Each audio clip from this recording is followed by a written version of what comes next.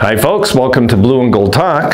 Oh, I don't got my glasses. I'm good to go. Let me make sure I got my audio on because if my audio's not on, I'm going to lose my mind. It's on. Close my computer up because I don't need this no more.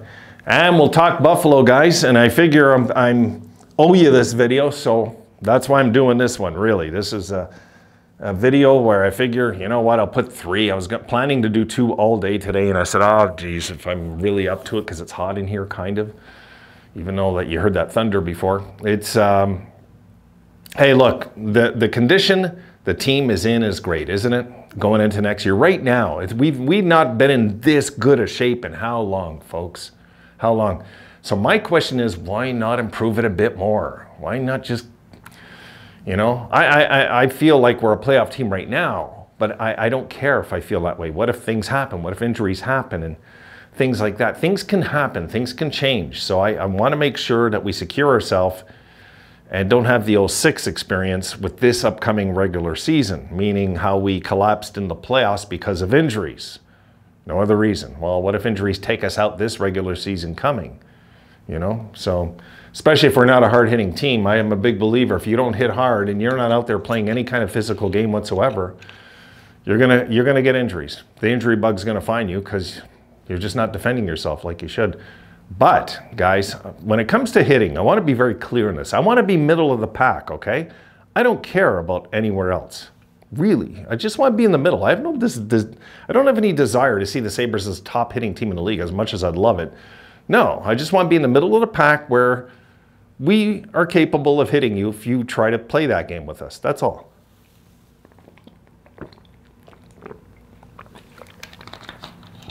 So going into this, this video, I'm thinking, you know, what's the main goal for me is I, I just can't wait, guys. I, I hate to say it because I don't want to lose the summer, but I can't wait for October. I, I, I'm like a kid with this. I'm really, I feel like it's going to be good for everything, good for all of us. It really, I don't think I'm imagining it. I don't think I'm making it up. I really do believe that it's going to get so much better this year for all of us. And, uh, you know, do we have a Cinderella story coming up this year? Who knows? That's the great thing about sports, eh? You don't know year to year. You just, you lace up the skates, you shake hands with your new teammates, you shake hands with the ones leaving. You're, you, you step on the scale, you lift the barbell, and you see where you're at, and that's it. You get on the ice, and, and uh, it changes year to year. Everything changes year to year. What's going to be in that team's memory in their first game of the season is how they were one win away from making the playoffs. That's what they're going to be thinking when they play game one. I guarantee you that's going to be the talk in the dressing room. They're going to take every single game this year, I think, a lot more a lot. They're not going to wait till their pride is shook up and they've had the hell kicked out of them for like an eight game losing streak before they wake up again. I, I don't think that'll happen. I don't. I think it was pride that woke them up, not desperation to make the playoffs. You know what I mean? I think this year every game's going to be like a game seven to them. So we're going to see a different type of team, but isn't that called maturity? Isn't that what that's called when you think about it? You know, isn't that a team that's just getting older and maturing? Yeah, it is. I mean, look, they've had fun. They've talked about dreams and goals and everything. And then last year, they get a taste of coming so damn close.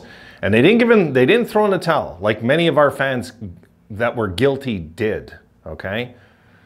No, they didn't throw in the towel. You'll never see me throwing the towel either. You guys got proof. You seen me. I was one at one point one more loss away from saying, okay, that's it. And I wouldn't give up. I wouldn't give up. And it came down to that game in Jersey. It did before our season was done. And uh, that's fine with me. It's fine with me. For those that want to complain, then you forget where we came from. You forget where we came from. Try not to ever forget where we came from, guys, no matter what happens this year. You know, I do believe that this year is going to be it's going to be a special season. Something special is going to happen. Don't ask me what. I just believe that. I do. I've kind of called it year to year, you know, where I think they're going to finish. I got to see where they're where I got to see our roster before I predict where I think. I predicted them fifth the last two years. They finished fifth the last two years. So I've been pretty good with that. And um, I'm treading higher this year. That's for sure. Yep. Absolutely. I think they're going to surprise a lot more than people think this year. But we got to address a few needs. And of course, I just went over this in the videos. Got to get another goalie. Okay. I know that you guys, some of you got got it to for UPL to cut the team and cut the squad. You're more patient than me because I think we should trade him. I think we should move him. And I think we should get assets for him while he's worth something before other teams might figure out that he is just backup material. Because I don't think he'll ever amount to more than a backup in this league, to be honest. Maybe he will. He's young. Maybe he will. By the time he's 30, 33, he might really hit a peak where I'll be looking back and say, boy, was I wrong about that guy. Very possible, guys, very possible. But how it looks right now, our needs right now, and a young Devon Levi is we need a veteran goalie. We got to get a vet. We got to get a vet. I, am a big believer this year that we better address this need. And if Adams is going to go with this goaltending duo, uh, duo or even trio, I don't think he will. But if he does, I'll be surprised. You know, um, I don't think it'd be fair to put this way.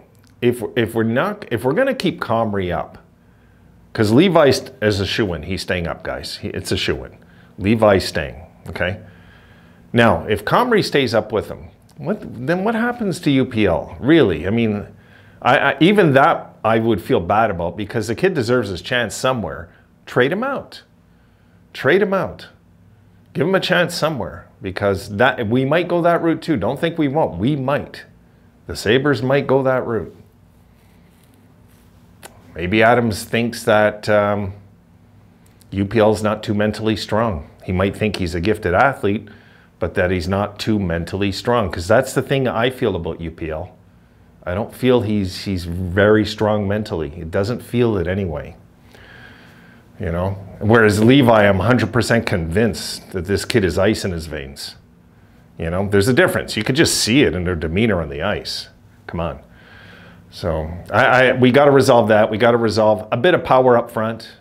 You know, but the goaltending for me, I could live with our forwards for now if we resolve the goaltending issue. Because if the whole back is good, then the front end of the team, you can tweak it along the season, make a trade if you have to, whatever it takes.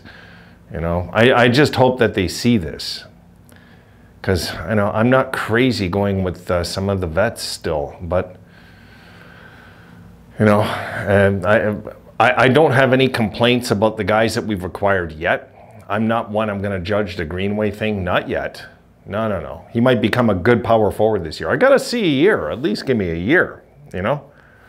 I'm not like, I don't got a crystal ball. I'm not going to pretend to know this, you know? And uh, we'll have to see what happens to Jack Quinn, eh, guys? I've been meaning to do a video on that. I still haven't done it, but uh, it's a bad news video, so I'm going to go over. I might go over the Achilles tendon eventually, and we'll talk about it in depth a bit. And uh, I've had some serious injuries in Taekwondo when, when I when I blew out my leg that year. Uh, I had all sorts of injuries, and that being partially one of them. So it, there is a lot that goes on with injuries behind the scenes that we'll never understand as just regular people who aren't playing the game and sitting there complaining they're not winning. you know, so I'm uh, I'm hyped, guys. I need the summer to move along because I don't know about you. I can't. I the last time I felt like this, this main reason I wanted to do this video was talk about this was the uh, uh, I wanted to. I, just wanted them to go that route. I, I want to go that route. I, I want to see the Sabres so badly that I'm willing to lose my summer now and just get to October. You know, and that last time I felt that way was 2006.